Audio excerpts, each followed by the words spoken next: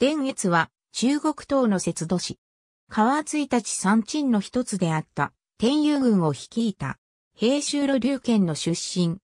幼くして孤児となったが戦術に長けており、叔父の義広節度氏の伝承氏にその才能を愛されて育てられ、大暦13年、伝承氏が死に臨むにあたり、特別に伝越に命じて軍事を知らしめたという。大宗もこれを追認した。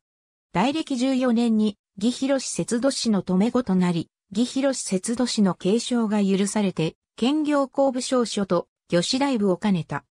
はじめは朝廷に標準の世を示していたが、うちには7万の軍勢を有しており、朝廷は節度氏の勢力削減の一環として、天佑軍の兵力を3万に制限して、残りを機能させるように命じた。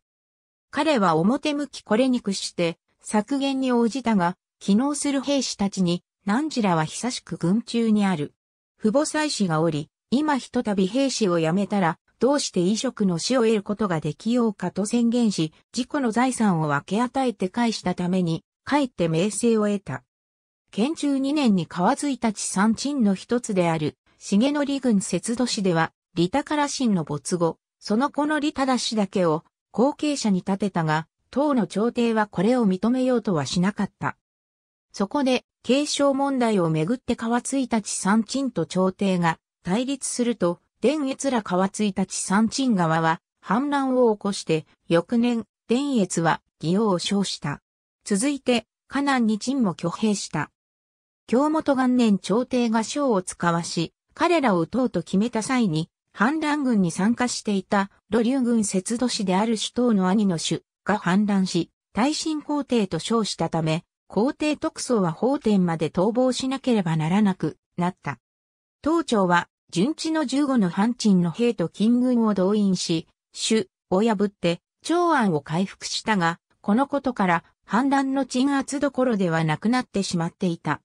ついに皇帝は川津たち三鎮に屈して、伝越は義王の称号を取り消す代わりに、節度氏は留任したままで、兼業少書右僕屋と採用王の地位を与えられた。